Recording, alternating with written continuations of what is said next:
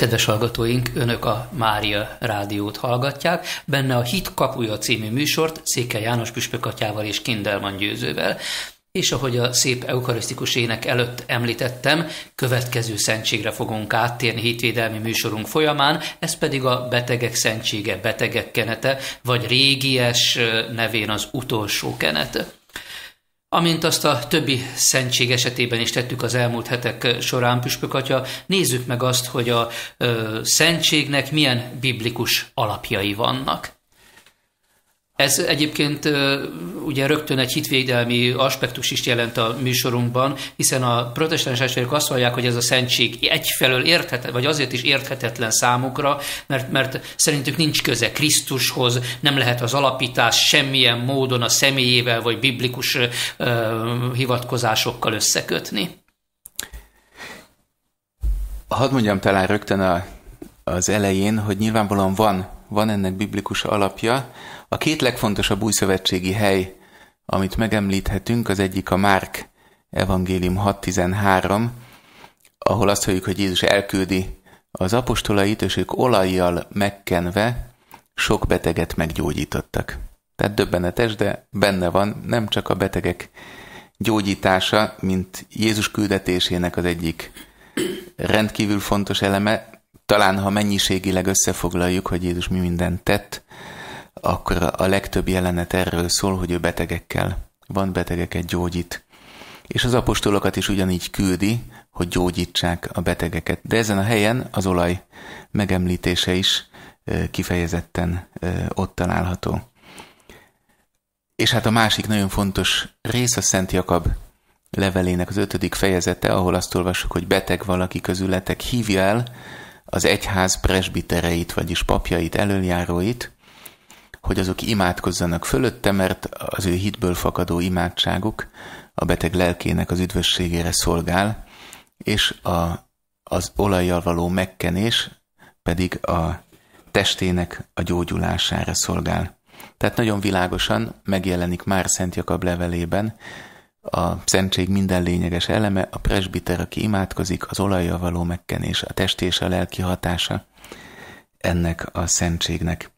Tehát ez a két kulcshelyünk, de ha szabad kitágítani az egész szentségnek a, az alapját, akkor nagyon fontos azt is látnunk, hogy a, a betegség és a halál az ember életének a legfontosabb határhelyzete.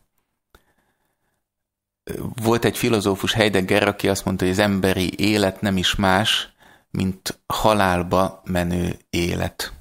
Sein zum Tode, halálba menő lét. Vagyis az ember legalapvetőbb tapasztalata az, hogy a létem véges. Már a földi élet folyamán is újra és újra tapasztalja az ember a határait, de a legkeményebben akkor, amikor ténylegesen vége. Vége ennek a földi életnek.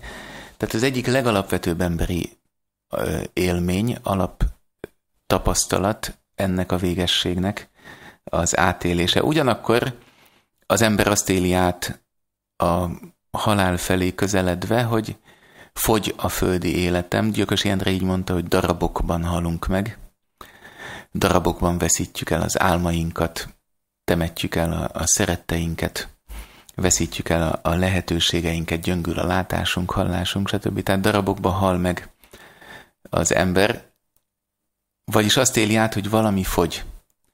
Bennem tépik ki a gyökereimet ebből a világból. De ugyanakkor azt is átéli nagyon sok ember, akinek erre legalábbis egy, egy kicsi érzékenysége van, hogy közben születik bennem egy másik ö, lét, kezdek átlépni egy másik világba. Nagyon sok haldokló van, aki beszél erről, van, aki így fogalmazza meg, hogy szinte látja a szerettei arcát, hallja a hangjukat, érzi, hogy hívják. Tehát érez egy másik világot, a, a beteljesedésnek a világát. Nagyon sok haldokló van, aki a halál közvetlen közelében egyáltalán nem fél. És én azt hiszem, hogy ez egyes egyedül úgy magyarázható, hogy ő valamennyire érzi, tapasztalja az, hogy nem a semmibe hull. Tehát a végessége után ott van a, a végtelen Istennek a jelenléte, érzi az ő fényességét, és abban a másik világba kezd átlépni. Nagyon sok ilyen tapasztalata van, azt hiszem a legtöbb paptestvérnek, akár arról is, hogy milyen óriási kegyelem, ha ebben a, a nagyon sebzett, de ugyanakkor Isten felé nagyon nyitott állapotban, amikor az ember a, a végét, a végességét átéli, a léte igazságát, azt, hogy én csak teremtmény vagyok, és az életem a maga erejéből véget ér, de ugyanakkor átéli az Isten végtelenségét is, azt, hogy az ő tenyerén vagyok, és ő újjáteremt. Tehát ebben a határhelyzetben, ha valaki a, az Úristen segítségét megtapasztalja, az egy óriási ö, ajándék. Nekem például nem, nem régiben volt egy ilyen ö, esetem, egy kórházba mentem, és egy, egy asszony nagyon nagy fájdalmak között feküdt egy ilyen rácsos ö, ágyban, mert nem tudott az ágyon megmaradni, és nem tudta hirtelen mit kitalálni, nagyon hangosan jaj veszéket. És ahogy bementem, meg se hallotta azt, hogy pap ott van, tehát a köszönésemre meg semmire nem reagált, gondolom nem is nagyon volt ilyen értemben magánál. És jó hangosan elkezdtem mondani, hogy, a, hogy ténylegesen meghallja az imákat. És egyszer csak azt látom, hogy lassan elcsendesedik, és úgy figyelni kezd, hogy mi is van itt. Aztán lassan szinte teljesen megnyugodott, elkezdett mozogni a szája, ő is mondta, aztán folytak a könnyei. Tehát egy, hatalmas erőforrás volt a számára, úgy gondolom, ezekben az utolsó órákban. Az, hogy valaki egy átélhette, hogy Isten ott van ö, vele. A, a betegek szentsége pontosan ezt teszi. Tehát ebben a, a legalapvetőbb határhelyzetben éli át a beteg azt, hogy Krisztus, aki velünk járta a betegség meg a, a halálnak az útját, magára vette a betegségeinket, de legyőzte a halált a föltámadásával. Ő ott van a beteg embernek a fájdalmas utolsó útján is, illetőleg a betegségében segít neki. Az evangéliumnak egy nagyon fontos üzenete az, hogy Jézus a halált legyőzi. A zsidókhoz írt levél így is fogalmazza meg azt, hogy megszabadította azokat, akiket a haláltól való félelem egész életükre rabszolgává tett. Az embernek az egyik legalapvetőbb félelme az, hogy megszűnök. És Krisztus föltámadása ebben ad egy hatalmas nagy erőt, egy hatalmas nagy kegyelmet, az ő húsvétjának a fénye ragyogja be a, a halálnak a, az éjszakáját. Ahogyan Jézus meghal a kereszten, amikor például azt mondja, hogy beteljesedett, vagy azt mondja, hogy atyám kezedbe ajánlom lelkemet.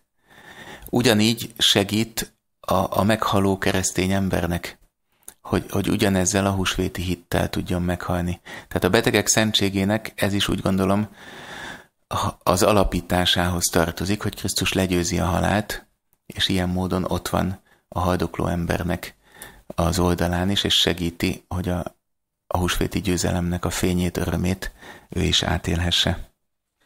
Gyermekkoromban, amikor a szentségeket felsorol, kellett felsorolni a hittanórán, akkor mi még azt mondtuk, hogy az utolsó kenet szentsége, és nem pedig a, a betegek szentsége megnevezést használtuk. Miért változott át ez? Egyébként csak úgy most, persze megvan ennek az oka, de most hangosan gondolkodván, nekem olyan szépen hangzott az, hogy a, a szent útra való, ugye, ami az utolsó, végső nagy útra valót jelentette, mint kifejezés. Talán azt is érdekes tudni, hogy nem hívta az egyház ezt mindig utolsó kenetnek, sőt ez a megnevezés ez eléggé késői, 12. században jelenik meg Krisztus után Petrus Lombardus nevű skolasztikus szerzőnek van egy, egy nagyon híres szentenciás könyve, tehát egy dogmatikus gyűjteménye, ahol megjelenik ez a kifejezés, és hát ettől kezdve válik aztán általánossá, mint a legutolsó dolog, amit az egyház tenni tud egy beteg vagy egy haldokló emberért.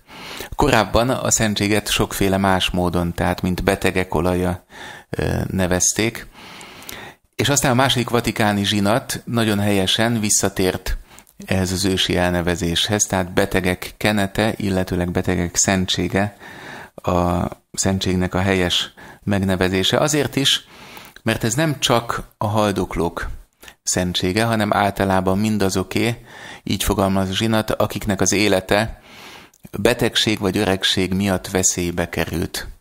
Tehát akik átélik ezt a határhelyzetet, hogy fogy az élet, említettük, átélik a szenvedést, illetőleg a halál felé való közeledést, azoknak a számára ad a betegek szentségében Krisztus segítséget és erőt. Kiveheti fel a betegek szentségét akkor ennek tükrében, és mondjuk hányszor ismételhető? A betegek szentsége ismételhető.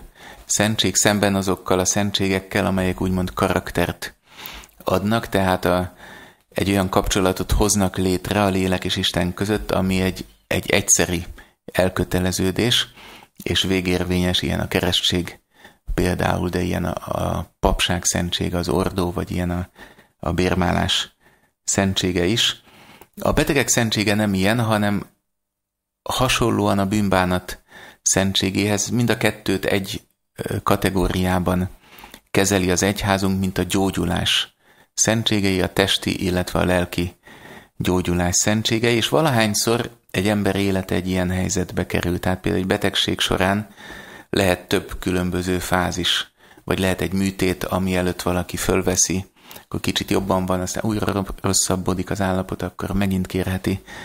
Sőt, hát sokan tudják, hogy újabban a liturgikus könyveinknek a, az előírása szerint is lehetséges közösségi formában fölvenni a betegek szentségét, és ilyenkor sok olyan idős ember, aki már a betegségeivel az időskorával küzd, vagy akár fiatalabban is, de, de valamilyen módon a, a betegség vagy a fájdalom szenvedés jelen van az életében, ők fölvehetik a betegek szentségét. A szentségek ugye kegyelmet közvetítenek számunkra, de mit közvetít a betegek szentsége számunkra? Tehát milyen szentségi hatásai vannak? És ezt megint csak egy, nem csak az általános aspektusból kérdezem, hanem egy másik oldalról is, ami picit már alványan az oltári szentséggel kapcsolatban is megemlítettem. Ugyanis van, aki egyfajta bűvös szertartásnak tekinti a betegek szentségét, annak kiszolgáltatását, amelyik, amelyik ilyen biztos gyógyító erővel bír, ha már mondjuk az orvosok nem segíthetnek. Szóval vannak, akik a szentség kiszolgáltatás során használt szent olajnak e, tulajdonítanak valamilyen mágikus gyógyító erőt. A e, babonás népszokások között sokszor találkozhatunk azzal, hogy különféle kocsvalékokkal, főzetekkel kell a sebet vagy a beteg testrészt megkenni, és ennek során ennek még vannak, vannak olyan népi helyek és emberek, akik, akik ennek varázserőt tulajdonítanak. Hát mit mondjuk azoknak, hogyha valaki nagyon távolról is valami ilyesmit képzel el, képzel el a betegek szent szentségéről és a, a kiszolgáltatásának során használt szent olajról.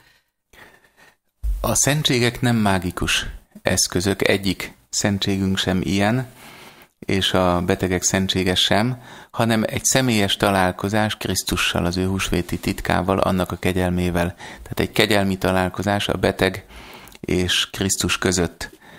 A szentség hatását az egyház mindig is kettős módon fogalmazta meg, lelki és testi hatása van ennek a szentségnek, tehát adott esetben lehet a szentségnek a hatása a testi megkönnyebbülés is, a szenvedéseknek az enyhülése is, amennyiben ez az Úristen tervében valamilyen módon benne van. Tehát ezt is szolgálhatja a betegek szentsége, de elsősorban lelki hatása van, mint minden szentségnek, Krisztusnak a legfőbb ajándéka, célja, az az, hogy az embert az ő szeretetében megerősítse, azzal betöltse. Tehát emellett a testi ajándékok, azok másodlagos fontosságúak. Vagyis ilyen értelemben lehet mondani, tehát néhány esetben okozhat akár lelki megkönnyebbülést is. Egyébként volt nekem ilyen esetem is az életben, amit maga a beteg is döbbenettel élt át, intenzíven egy fiatalembert ehhez szaladtam ki, hogy a betegek szentségét kiszolgáltassam, aki nagyon súlyos állapotban volt, tehát az orvosoknak a meglátása szerint is kritikus volt az állapota. Talán érdekes még azt tudni, hogy nem régiben tért meg. Tehát neki ez teljesen új volt még, hogy egy pap jön és betegek szentsége, tehát de nagyon nagy örömmel, nagy hittel fogadta, és ha jól emlékszem, már másnap egészen jól lett, és aztán ki is került, tehát túl, túl jutott ezen a a kritikus állapoton. Tehát vannak ilyen. Tehát Isten akaratától függően, hogy ezt akkor soha nem szabad figyelmen kívül hagyni, azért bizony, hogy lehet ennek a szentségnek ilyen hatása, dimenziója is. Folyamatosan a gyermekkoromat azért emlegetem most, mert ugye én még ezzel a szentséggel közvetlen módon nem találkoztam, és nem kellett fölvennem, tehát másokat kell, hogy idézek. És hát ismét csak egy idős Jámbor néni szavait szeretném idézni. Ő azt mondta annak idején, hogy az utolsó kenet, ő még akkor így nevezte, ez a 60-as évek legvége, 70-es évek lehetett.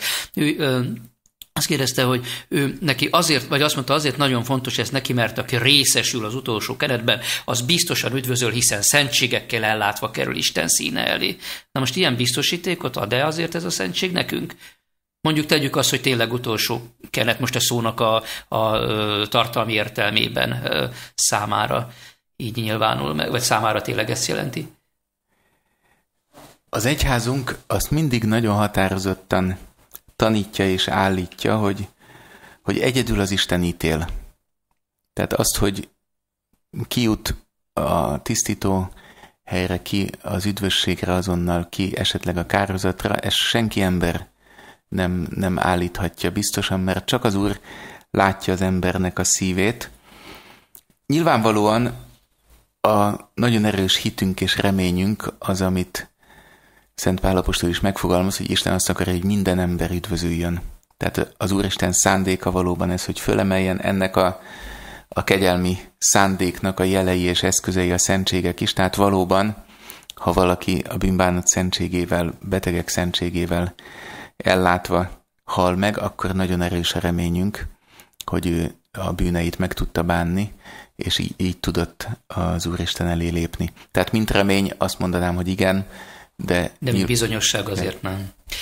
Térjünk akkor vissza egy kicsit az elején már a biblikus vonatkozásokról beszéltünk. Milyen összefüggés van hitünk szerint a bűn és a betegség között. Az Ószövetségben ugye számtalan utalást találhatunk arra, hogy igenis van összefüggés, de például János evangéliumában, jól emlékszem, a hatodik, mindegy fejezetet most nem mondok, egyik fejezetében azt olvashatjuk, Jézus egyszer útközben látott egy vakon született ember, tanítványai megkérdezték tőle, hogy mester, kivétkezett ez, vagy a szülei, hogy, hogy vakon született, és Jézus azt mondja, hogy se nem, a, se nem ő, sem pedig a szülei, hanem azért, hogy Isten tetteinek rajta kell nyilvánvalóvá válni. Azt hiszem valahogy ez az idézet nagyjából elnézést, hogy nem szó szerint idéztem. Na most ebben a konkrét helyzetben Jézus ugyan a szavait követő csodás gyógyulásra utalhat, legalábbis az utolsó fél mondatban, de általánosságban akkor most mi mondható el?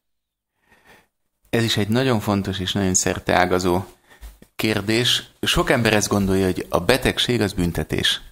És miért, miért sújt engem az Isten? Miért vert meg az Isten? Tehát nagyon gyakran ez az első kérdés, és hát János evangéliumában ez a vakon született történet szintén ugyan az első gondolat kivétkezett, ki miatt történik ez, és Jézus nagyon nyilvánvalóan megmondja, hogy sem ez, sem a szülei. Tehát nem bűn büntetése. Vagy egy másik esetet is fölidézhetnénk, ez Szent Lukács evangéliumában, a 13. fejezetben találjuk azt, hogy Siloámnál ledől egy torony, és maga alá temet egy csomó embert, és akkor megkérdezik illetve Jézus maga kérdezi, hogy mit gondoltak. Ezek az emberek, akik ott meghaltak, bűnösebbek voltak, mint a többiek, hogy így jártak, és Jézus mit felel? Nem. Tehát nem szabad ennyire összekötni, és azt gondolni, hogy minden szenvedés, minden tragédia, minden betegség valamilyen konkrét személyes bűnnek a büntetése. A betegség és a szenvedés abból is adódik, hogy az anyagvilág véges. A testünk anyaga romlandó és véges, összetett darabokból összetett, és nem tart örökké, hanem szétesik. Tehát a testünk eleve nem képes arra, hogy örökké létezzen, hanem ez egy romlandó valami, ami lassanként megöregszik, tönkre megy, meghibásodik. Az Úristen célja ezzel a földi élettel nem is az volt, hogy ez a, a formája az életünknek, vagy ez a módja, ez örökké tartson. A földi életünk egy út arra, hogy megtanuljunk szeretni, megtanuljuk odaadni az életünket, és majd ebben a, a nagy odaadásban, aminek tulajdonképpen az utolsó nagy gesztusa a halálunk. Amikor az ember az egész életét, mindenét nagy hittel az Isten kezébe visszateszi. Ez bizonyos értelemben az egész életnek a csúcsa, amit pont a betegek szentsége egyébként megszentel, fölemel, és Krisztus húsvétjának a, a fényét viszi el a haldokló ember közelébe. Tehát... Ugyanakkor azért azt is hozzá kell tenni, hogy ugye nem csak testi betegség létezik, tehát most, ahogy mondod, hogyha ez merült föl bennem, hogy igenis a, a bűnnek, a lelki betegségek igenis, hogy lehetnek származékai. Nagyon is így van, és ez lett volna az én válaszomnak is a második fele. Tehát alapvetően azt kell mondanunk, hogy nincs. Nincs közvetlen okokozati kapcsolat a bűn és egy betegség vagy egy fizikai szenvedés között, és nem szabad azt gondolnunk, hogy Isten lesújtott. Azonban ez is egy nagyon fontos ö, igazság, amit látnunk kell, hogy test és lélek az emberben rendkívüli módon összefügg. És a lélek betegségének, a bűnnek, a lelki diszharmóniának nagyon gyakran vannak testi következménye, tehát rengeteg testi betegségnek van lelki oka. Ahogy az orvostudomány egyre többet beszél erről, a magas vérnyomás, szívbetegségek, gyomor, és hát rengeteg más betegségnek lelki diszharmónia az oka, sőt valószínűleg ezek örökíthetők is, tehát ilyen módon szinte kódolódnak lassanként a, az embernek a, a DNS-ében és más módon öröklődnek az egyes nemzedékek során.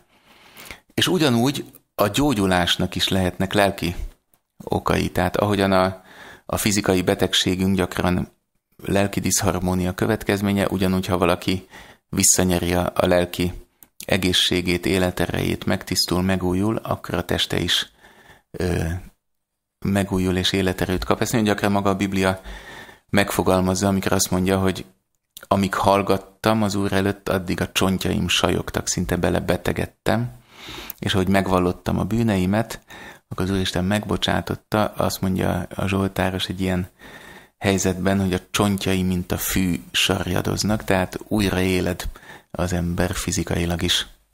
Egyébként nekem a, a, felépítése, tulajdonképpen az felépítésé tekintve egyik legszebb szentség a betegek szentsége, ha én most belegondolok, mert ugye valójában egyszerre három szentség, amely így közeledik az emberhez, tehát ugye a, a bűnbánat szentség, akkor ez az olajjal való megkenés, és hát maga a szent ami egyébként az minden esetben ö, hozzátartozik? Hogyha valaki olyan beteg, hogy nem tudja ezeket a, a, az előbb említett kettőt, tehát a, a bűnbánat szentségét és a, az oltári szentséget magához venni, akkor mi történik? Nyilván mindig a, a beteg állapotától függ, Igen. tehát sok esetben a beteg például már alig kommunikál.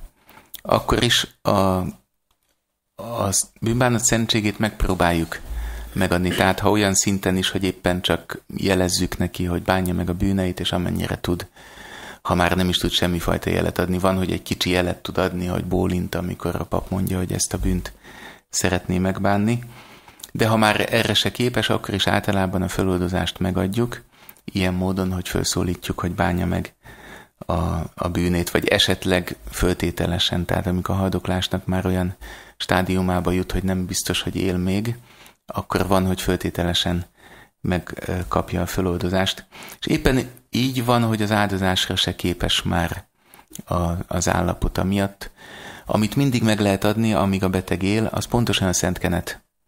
Tehát egy, egy olyan módja a szentségnek, amit nagyon gyakran a beteg érzékel, és talán, tehát néha a papnak is az élménye, hogy, hogy jön visszajelzés. Tehát valamilyen, ha nagyon apró is, mert már nem Kézgesztus, vagy valami. Igen, uh-huh. vagy, vagy akár egy könycsepp megjelenik, vagy, vagy az arcán valami látszik. Tehát nagyon gyakran látjuk azt, hogy, hogy érzékeli, ami történt, és nagyon boldog. És akkor egy utolsó kérdésem, mert az órára tekintve azt látom, nagyon szalad az időnk, hogy a szentségek közül például az oltári szentséget kiszolgáltathatja arra megbízás nyert civil ember is, vagy vészhelyzetben a keresztséget civil ember. A betegek szentségével miért nem ez a helyzet? A keresztség az egy, egy eléggé különleges ö, helyzet, amikor a keresztségnek a kiszolgáltatója bizonyos értelemben maga az egész egyház, illetve az egyház hite által ö, részesül valaki a, a beavatásnak a, a szentségében, és azért szükséghelyzet, illetőleg a másik különlegessége, hogy a keresztség minden más szentségnek a kapuja. Tehát az első és legalapvetőbb szentség, ami az üdvösséghez ö, szükséges. És ezért a, a keresztény hagyományban az alakult ki, hogy olyan esetben is, mondjuk ha, ha szükséghelyzetben nincs is közelben keresztény, de van egy jó szándékú ember, aki azt akarja tenni, amit az egyház ilyenkor tenni szokott, akkor még ő is megkeresztelheti. Tehát akár nem is kell kereszténynek lennie, csak a keresztségi ritust elvégezni azzal a szándékkal, hogy azt tegye, amit az egyház ilyenkor tenni szokott. A betegek szentsége viszont nem ilyen, tehát egyrészt nem szorosan véve szükséges az üdvösséghez, illetőleg van egy külön szentségi jele, az olaj, amit a pap kiszolgáltat, aki Krisztus másaként van ott, Krisztusnak a megjelenítőjeként a betegágy mellett. Illetőleg hát nagyon fontos azt is megemlíteni, ez egyháznak ősi tradíciója. Ez, hogy mindig pap szolgáltatta ki, ebben egyébként ortodox és latin szertartású kereszténység teljesen egy. És Pökatya, nagyon szépen köszönöm. Kedves hallgatóink, sajnos műsorodunk végére értünk. Nekem még lett volna néhány kérdésem, azt most már nem tudom föltenni, de hogyha önök valamilyen módon szeretnének hozzászólni, valamilyen kételj, vagy bármilyen kérdés fölmerült önökben, nyugodtan tegyék meg a mariaradio.hu honlapunkon, több e-mail cím is található, szerintem bármelyikre írnak, azt Püspök meg fogja kapni. Ennyi fér tehát nagyjából a mai műsorunkban. Legközelebb egy hét múlva találkozunk, akkor majd a házasság szentségéről fogunk beszélgetni ugyanebben az időpontban. Búcsúznak önöktől a hitkapuja műsorvezetői Székely János, Püspökatya és Kindelman győző. Dicsértessék a Jézus Krisztus. Mindörökké, amen.